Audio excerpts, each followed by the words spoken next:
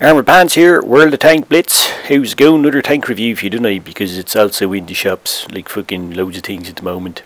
Uh, this one is the Panzer 4S, uh, Panzer 4S Schmalturm, or also officially known as the TIE Fighter. Uh, cool TIE, TIE Fighter sounds here. TIE Fighters are cool, aren't they? Um, normally the they whip out this tank when a Star Wars movie comes out. They shamelessly sort of cross, uh, you know, Star Wars World Tank Blitz. It's a nerd's wet dream, really, isn't it? Um, and it normally they whip this thing out when Star Wars movie's been released. The first it first made an appearance when The Force Awakens was released. Uh, but I think they missed out on Solo. They must have been asleep in holidays or something, so they just stuck it in the shops now. Um, and uh, so let's have a review anyway. There's Darth Vader's TIE Fighter, by the way. Um, the historical background to this uh, to this tank is interesting.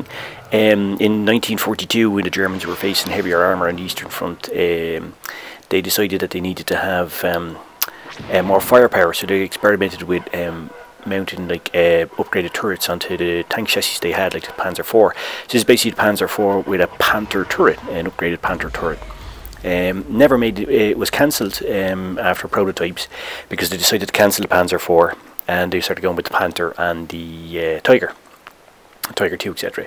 Um, so that's the historical background to it. Now, let's have a look at it. Now, by the way, one thing I would say about this, and the best thing about this tank, is its gun, which is quite unlike a real TIE fighter. I don't know if you've ever seen Star Wars, but the guys who fly those things couldn't hit a fucking barn door with a shotgun. They're fucking awful. I don't know what sort of training they have. I mean, if you were giving somebody what's probably a very expensive piece of equipment, you'd at least expect them to be trained well enough to hit something with it. I mean, they can't hit the Millennium Falcon, which is like fucking the size of a fucking barn door itself. I mean, honestly, don't know what sort of aiming mechanism or whatever they have in it, but they seriously need to upgrade that, don't they? Can't hit fucking shit with the things. Now, that's stark contrast to this tank, the TIE Fighter itself, because um, this tank um, is extremely accurate gun, 75mm gun, uh, standard German gun on tier 456 and has an amazing rate of fire uh, it's 4.4 second reload and um, it will do damage. Um, it's very accurate. So this this tank is fantastic for um, sniping uh, peekaboo etc and you can out DPM most things even if you're up tiered to tier 7 that said it's classified as medium tank right? Now the thing about it is it does have medium tank speed. But if you can imagine um, a small kid with a massive head, he's not going to be very mobile, you know. Even if he's got Linford Christie or Usain Bolt legs, he's not going to be, you know, as sprite on his feet, let's say, as a normal kid. And that's the thing with this, right, because it has a massive head on a small body. So it doesn't accelerate very well. Its traverse is fucking awful. Um, you have to be aware of that. So it doesn't really handle like a medium tank per se, um, especially your standard mediums. Just looking at the armour here, the turret is good and you can get some nice angles on the turret to bounce shots with it. Uh, the hull is not because the hull obviously is a lower tier tank hull, right?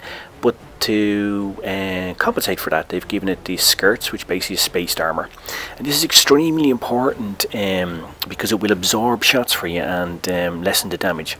In particular, as it's tier 6, if you come against a KV2, go side on to a KV2, present them your side, because if he fires HE into you, as most KV2 uh, drivers will, um, he's going to lose a lot of the damage points that he could do. Significant amount. He may even not do any damage at all. Uh, but certainly he's not going to be able to one-shot you. So present your side to him if you can. And if he's inexperienced, he'll fire that HE into it. Um, and um, that'll give you a chance because with your 4.4 second reload you can do a hell of a lot of damage when he's reloading. Anyway, looking at the tactics of the tank, um, good for peekaboo, sniping, etc. As as we said. Anyway, so let's look at some tank play. Let's roll. Here it is here with its um, with its legendary camo. So it does look like a TIE fighter. As we said, Nerd's wet dream, isn't it? Playing tanks, and my tank looks like a TIE fighter. Ooh, fucking cool, isn't it? Awesome shit. Um, as I said, the tank will the tank is fast, right? And you'll see here, I can keep up with the others, right? But it's not agile that's the thing right it takes time to build up speed um, it's not mobile in terms of moving very quickly it's not it doesn't move on its axis very quickly and its traverse speed is awful because it has such a heavy big turret on it compared to the size of the tank so it will not handle like a normal medium tank you need to bear that in mind so if you get into brawls um, you don't rely on the traverse speed, you need to rely on the DPM. Now, this is what I was saying about the gun. You see how accurate it is? The gun is fucking great. It's just awesome. Um, I love the gun in this thing. It's just fantastic. You know, I love it almost as much as I. I was going to say my penis, but that that's just weird. But you know, actually, I don't particularly like my penis. Um, you know, just sort of hangs there. I mean, penises are weird, aren't they? I mean, you know I'm digressing here, but they are weird, aren't they? With penises and balls are weird looking, aren't they? I mean, they look like something hanging out of a shark's mouth, you know, you might see in Shark Week or something like that. But anyway, I digress. Um, yeah, so the thing is, the gun is fantastic. It won't let you down. It's very accurate. Um, uh, I'm just trying to angle up here to see if we can make it difficult for him to pen me. But you see, the reload is just the reload is just great, and uh, oh, noob that one, and just allows you to do all sorts of damage. You know, just it's just fantastic. And you know, I'm just up the hill and I'm reloaded again. The 4.4 second reload is just awesome, and that really is the strength of this thing. It's gun, the accuracy of the gun, and its rate of fire. Um, it's you know, it just won't let you down. Um, but as I said, um, it's classified as a medium tank because, well, it's not a heavy tank. It's not a light tank. It's not a tank destroyer. So I guess they had to classify it as a medium. But it doesn't handle like most mediums. So just be aware of that. You see me going up the hill here. It's very slow. I go up that hill like you know, a fast heavy, not a medium tank. And you see me trying to catch up here to do some damage here. You know, like obviously the Cromwell is extremely fast tank, but see this how slow I am. See the traverse as well it's not great. I mean, it's not obviously it's better than a heavy, but it's not. If you're up in a brawl against a light tank or a standard medium tank, um, you will suffer unless you can get them front onto you and um, and use your and use your rate of fire and out DPM them. So just to be aware of that. Um, but you know, it's not train unfriendly. It gets around the map um, pretty well, but it does take time to accelerate. You just be aware of that. Um, but as I said, its main quality is the gun, and like a normal Tiger Fighter, it actually is accurate and you can hit shit with it. Um, Imperial Stormtroopers are dreadful as well, aren't they? So they, they can't hit anything, you know. Uh, by the way, that music was obviously the Imperial March from Star Wars, which is a fantastic fucking piece of music, isn't it? it really is. It just so suits that that uh, the, the Empire Strikes Back. Well, which is actually my favourite Star Wars movie, by the way. Probably should, because maybe I like the dark side. Yeah. Actually, like Dark Side of the Moon, that's a great album by Pink Floyd as well. Anyway, digress. Um, back to the. Um, if you're wondering what that was, I was just checking I was recording because um, I couldn't remember. Um, I'm old now, you know, so I often can't remember things I did like 10 seconds beforehand. So I wasn't sure what was going on here, so I decided to go left. Um, and uh, just going to try to support the heavies, see if I can use my DPM. Uh, I'm going to try to be a support tank here rather than go front line. Um, as I'm a bit faster, I decide to go over into the to top left hand corner and see if I can spot maybe or see if I can um, get some shots in across the field of fire onto the opposite side um, into the desert. So we're just going to see what's going to happen now. We've spotted a few up, so um, I'm going to see if I can use my gun, the accuracy, uh, my DPM, see if I can support my team a bit. Now, uh, just coming up here, is there anything, that, anything we can shoot at? No, no, no, absolutely like walking into a brawl with no money, not going to shoot anything. So, um, but uh, I think here now there's a nice shot coming up. Uh, again, it shows just how good the gun is. Now, uh, well, the gun is good. I'm, I'm sure. Um, there are some. I do. I think I put in a couple of shots here, but um, with the with the dunes and that, and they're moving around, it's difficult to. Uh, oh here it is. Yeah, there's a nice shot come up here. So you know the tank is uh, the tank is when it's while it's not maneuverable uh, the gun is just fantastic. And um, even if you're just a an average player like myself it won't let you down. Now um, you see what I mean here now? Um, and I, am going to come up with these two heavies. Why am I coming on these two guys here? Well I want to I want to draw their attention away from uh, my team. I don't want us to be caught in a crossfire. Um, and I know that I can out DPM both of them so that's what I decided to do.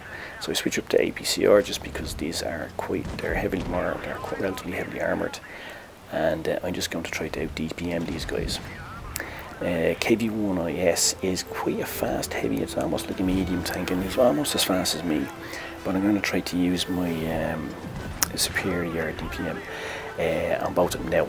Here's the thing, what I did is, you see what I did here, I went side on to this KV2, so if he wants to take a shot on me, so be it, but he's going to hit my spaced armour and he's probably loaded up HE. In fact, some KV2 drivers don't load up anything else. and you can see again, uh, I out DPM this go. Oh yeah, because he made balls out. This is what I was doing there. Fucking hell, that was bloody awful, wasn't it? Um, missed missed my own kill there, but sure, there you go. But you see what I mean? The DPM on this thing allows you. To, I took on two heavies there. One of them a big fucking monster in the KV2, and actually the KVIS2 was a massive gun as well, KV1S. Um, and uh, you know I was confident enough um, in my tank to be able to do that. And I think I swapped out um, about 300 hit points 300 plus hit points there for to take the two of them out which is to my mind is a very very nice exchange you know. Um, again here I'm going to get another kill because just because my DPM is so good.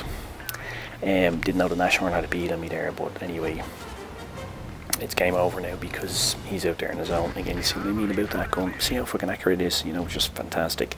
Definitely, my my uh, my gunner did not attend the Imperial School of TIE Fighting or Stormtrooper training. You know, he well, he was a Wehrmacht, wasn't he? So yeah, pretty good. Like Bobby Woll and these other guys, Kurt Knispel, best tankers ever lived, weren't they? Um, but then I guess you can get a lot of kills when you're fighting everybody, which is what they were doing, isn't it? Who are you going to fight today, Adolf? Oh, I thought about fighting the whole world. That's a good idea, yeah, sure, let's do that, won't we? Just fight the whole world. Yeah, sure, what, what could possibly go wrong? Anyway, so there you go. So the tank itself is, is, is a very good tank. Um, it's a good price at the moment. It's around approximately about 12 euros, so it is a decent price. It's a lovely looking tank, especially with the legendary camo. And you know, uh, as a tier 6 medium, um, it's unusual and um, if you like collecting unusual things and unusual tanks then it's definitely something to your collection definitely recommend it anyway let's have a quick recap there. So the tank is fast but while fast it's not agile. Very poor traverse. Um, but the gun is excellent. Excellent rate of fire. It's accurate. Um, or accurate as it's written there. Sorry about that. Fucking hell. Um, and it has good pen. Um, and it won't let you down. The tactics, it's great for sniping, peekaboo, it's great for flanking. I mean, it can flank, it's not great for flanking, but it can flank. It can brawl, but be aware to reverse, so try to get somebody in front of you and don't brawl, um, don't face up the heavies. It doesn't respond like a medium, so use the rate of fire and use it as fire support. And if you're top tier, you can't push in it. Uh, use the turret to bounce shots and the spaced armor or spaces armor is written. Oh, fucking, I was doing there. And maybe it's like a little Helsing, isn't it? Um, because the Helsing is also fast, but you know handles quite similarly. You know. Anyway, so think about like that, and uh, I hope you've enjoyed the video. And there's just some more TIE Fighters and sound effects just because they're fucking cool, aren't they? Absolutely, they certainly are. Alright, subscribe and follow. Nah, that work bullshit. Alright, take it easy now. See you now. Cheers, boys, boys.